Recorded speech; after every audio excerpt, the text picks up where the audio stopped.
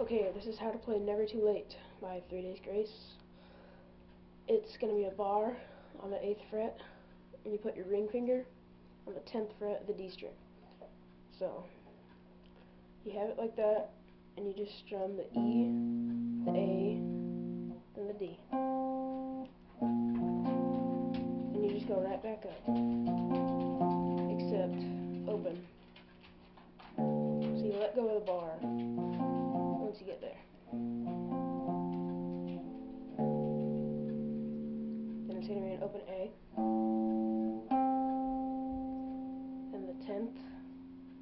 D.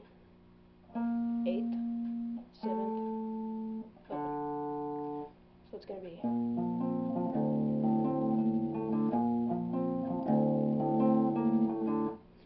Uh, you can pause the screen and go through every detail. But, um, so after you play that three times, it's going to be the same thing, except you bar the seventh, leave your ring finger here, and you go. Then a bar on the tenth. So altogether it's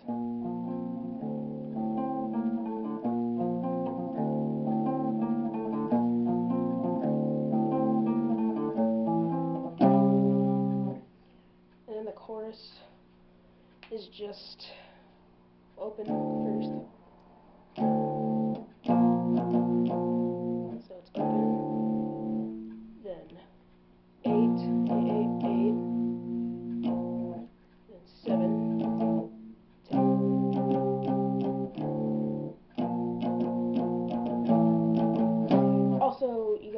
this is in drop D. Forgot to mention that earlier but it's very important. It sounds terrible in standard tuning. So you gotta remember it's in drop D.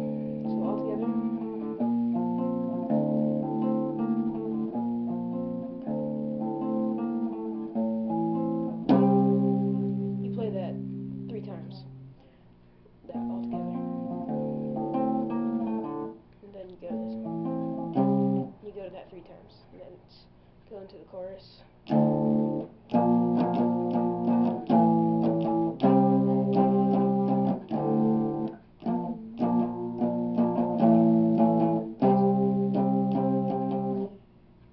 That's it. Uh, if you want me to make more videos, comment in the comment box for more Three Days Grace. I know pretty much everything by them. So just comment and I'll make more if you want me to.